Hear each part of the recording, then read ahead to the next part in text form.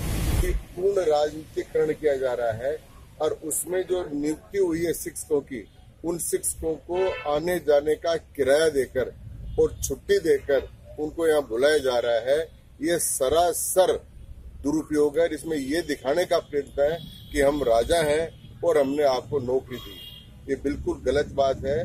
वो एक सरकारी प्रावधान के अनुसार एक निश्चित परीक्षा देकर और नियमों में आकर वो सरकारी नियुक्ति में आए हैं, उन पर किसी की कृपा नहीं है और उनको बुलाकर उन पर 11 करोड़ रुपया खर्च किया जा रहा है।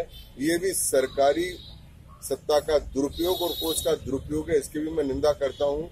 और इस प्रकार के जो कृत्य कर रही है, इसी प्रकार से जहाँ जहाँ जा रही है यात्रा, वहाँ लोग विरोध कर रहे हैं। ये यात्रा पूर्णतः फ्लॉप हो चुकी है। एक हारा हुआ जुआरी जिस प्रकार से अपनी हार मिटाने के लिए काम करता है उसी प्रकार हारे हुए जुवारी की तरह से मुख्यमंत्री यात्रा कर रहे हैं।